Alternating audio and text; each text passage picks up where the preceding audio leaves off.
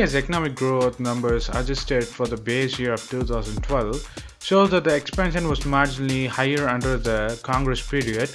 The new series after the economic picked up the pace in fiscal year of 2004 and generally the lower in preceding years. The numbers have been calculated with a committee set by the National Statistical Commission of India and the former chief statistician Pronab Sen said that the exercise was a good start but that more work was needed. The report shows the real GDP growth touching a high of 10.08% in 2006-2007 in terms of factor cost, the highest since the liberalization of the economy in 1991 and the second highest ever behind 10.2 during the Rajiv Gandhi administration in 1988-89.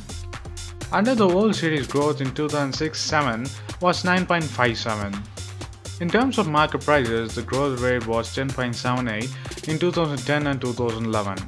The new GDP series of the fiscal year of 2012 as the base year was begun in 2015 and follows internationally accepted methods based on the market prices as opposed to the factor cost. The method followed earlier and uses corporate numbers to estimate the manufacturing output.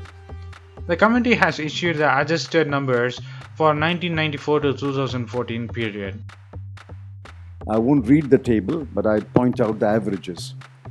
NDA 1 average was 5.68%. UPA 1 average was 8.36%.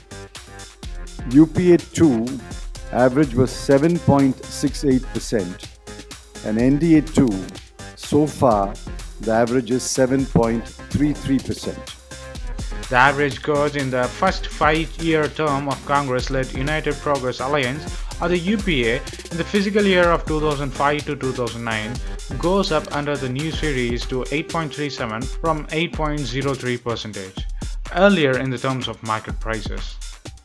In terms of factor cost, the increase is from 8.43 to 8.87 percentage average growth during the preceding Bharatiya Janata Party led by the National Democratic Alliance administration is down marginally from 5.89% to 5.73%.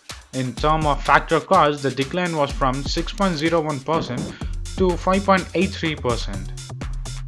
In the first three years of UPA's 2000 Congress period in fiscal year of 2010 and 2012, the average growth rate goes up from 8.46 to 8.86 percentage. In terms of factor cost, the revision is from above 8.06 percentage to 8.49 percentage.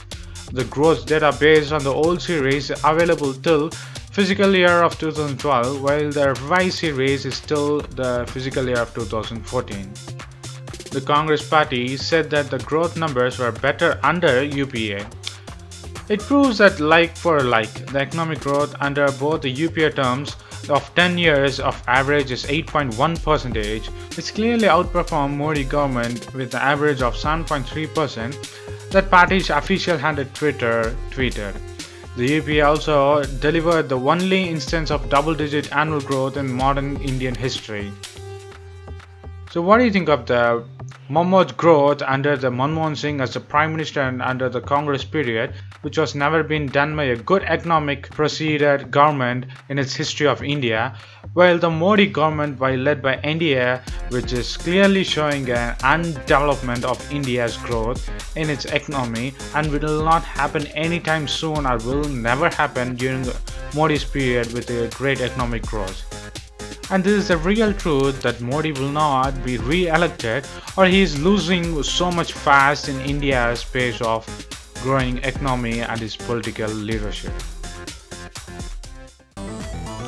Please post your comments below and if you like this video please give a thumbs up and follow us on social networks and subscribe to our channel. And thanks for watching. This is WC Daily. Think big, think different. Bye.